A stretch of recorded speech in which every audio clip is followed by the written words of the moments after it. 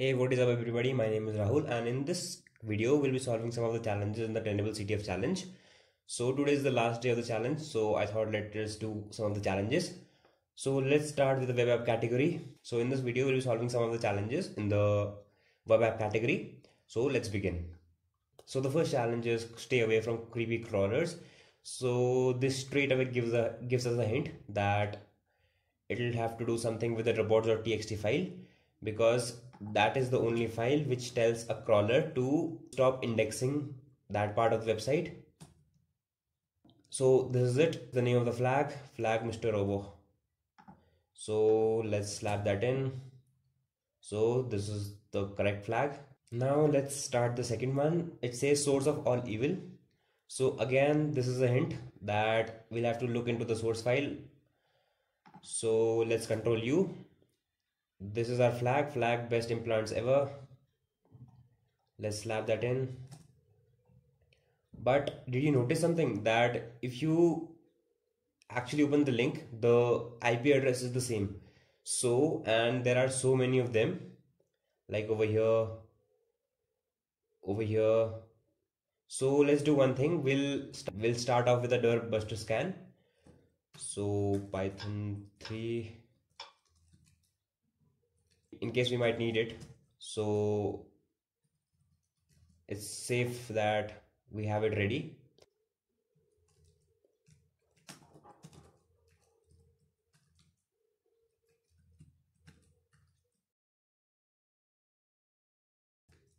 So let's start with the third one. Can't find it. Let's open it up. Let's see if we have something we have a robots.txt file we checked it. We have a .hta password file but let's check it out if we have something. Okay by the way flag 404 oh no let's slap it in let's see if it is the flag. Oh this was the flag. Okay so let's look at the next one. The name of the challenge is show me what you've got. It says that find the indexes flag over here. Again the same ip address. So it gives us a hint that find the indexes. So by indexes it might mean a hidden directory. So the only directory that we came across was an images and a slash admin. But an slash admin gives us a 401 whereas a slash images gives us a 301 response code. So let's check images. And as you can see there is a txt file. So this might be the flag for the challenge so let's slap that in. And this was indeed the flag for the challenge. The next one is certificate for authenticity. Let's look it up. Again we've got the same ip address. Now as i've come across a similar challenge beforehand so i'll be telling you what we can do. So if you press on the padlock button for normally what happens for http sites you'll be provided with a certificate over here but as this is a http site normally there wouldn't be any certificates. So what you can do is you can type in https and click on the advanced tab and click on view certificate. So this is this is where i got the hint from certificate of authenticity. So if we scroll a bit down this is the flag for the challenge. Let's slap that in. And this indeed is the flag. So the next one is headers for your inspiration. Again we get the same ip address. Let's open it up in new tab. This time it says that headers for your inspiration. So i'm guessing that we have to do something with the headers this time. So let's press in control shift i. And let's go to our network tab. You can also turn on your burp suite. So i have refreshed the page. This is the page. Now let's click on the first one so this one over here are the response headers that we get back. So this is the flag as i'm seeing it. This is the flag for the challenge. So let's slap that in. Now we'll be solving a ripperdoc as it has the same ip address. So i think this time we'll have to check to the ripperdocs sorry you got to be in the club to get this list. So in the club it could mean that we'll have to log in or something like that. I looked my way around but i couldn't find anything.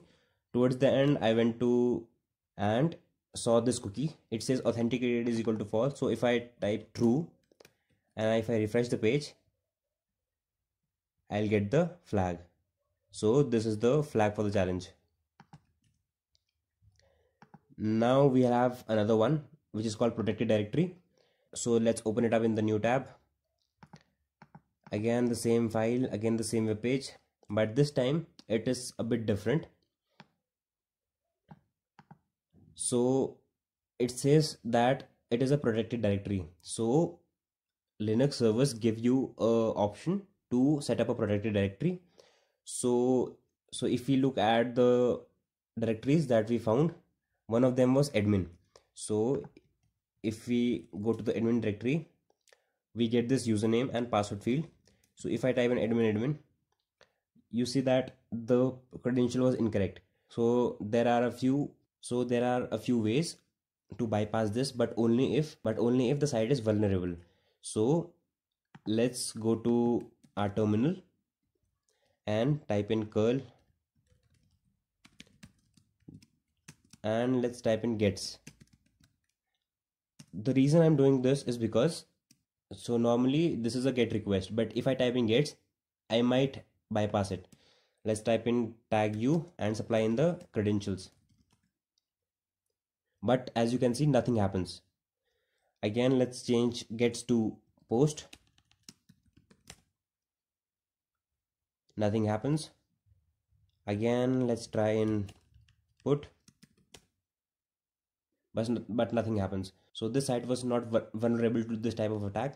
So i again i looked at the few indexes and one of them was .ht password.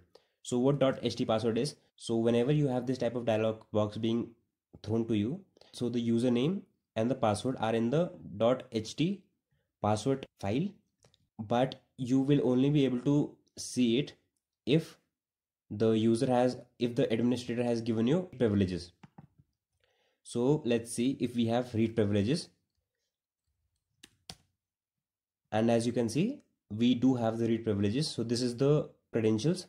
So the only way to log into the website is by brute forcing this hash.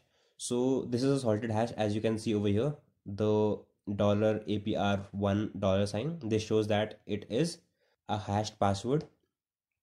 What you can do is you can either use john the ripper or hashcat to brute force it i'm not going to use it over here uh, because tools like john the ripper and hashcat are a bit resource hungry. So you can go ahead and brute force this. But this is the credential anyway. So this is it for the video guys. I hope you liked it. If you did like it please press on the like button and subscribe to my channel. Thank you